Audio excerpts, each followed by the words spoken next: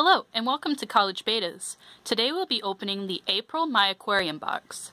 This is going to be a one-take video, so hopefully I don't make any mistakes.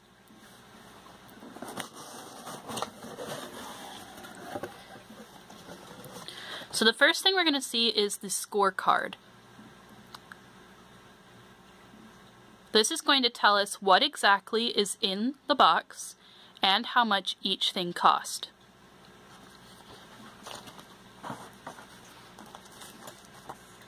So first we have an advertisement from Universal Rocks. Universal Rocks makes fake rocks and fake plants.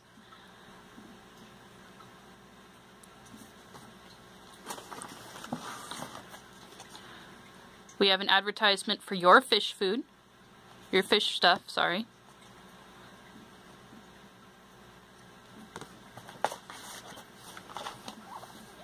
A booklet from San Francisco Bay Brand.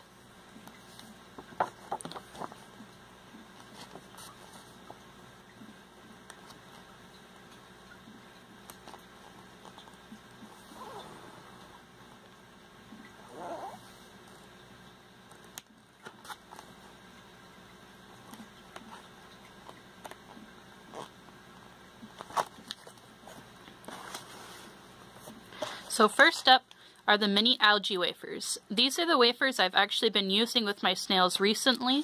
I do like these. They're a lot smaller so I can uh, portion out the feeding a little bit better across the tank so that more snails can eat at one time. Next is spirulina flakes.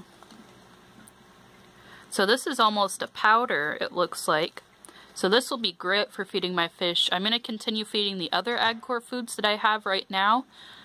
But this looks like a good meal to be feeding very soon.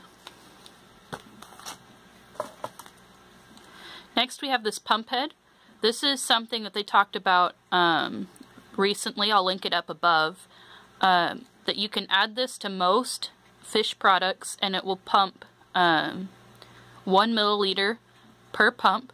So I will probably be adding this to either my Prime or my Stress Guard, most likely.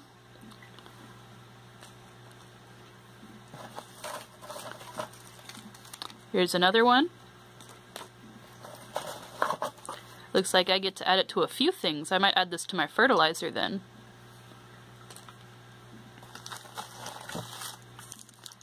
Next we have the Universal Rock. This is a pretty good sized rock. I may actually get to use this in the new scape I'm going to be setting up. And they do use real rocks in the bottom so that these rocks do sink.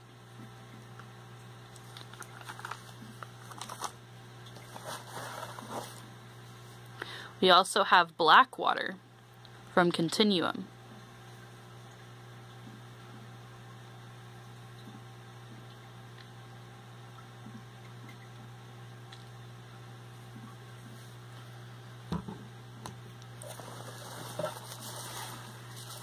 And the last thing in the box is a piece of driftwood.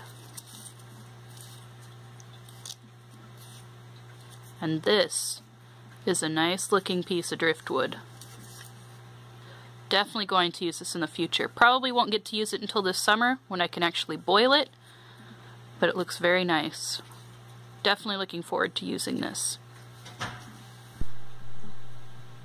So that is it for today. Don't forget to like and subscribe and join us next week for a look at our first DIY project.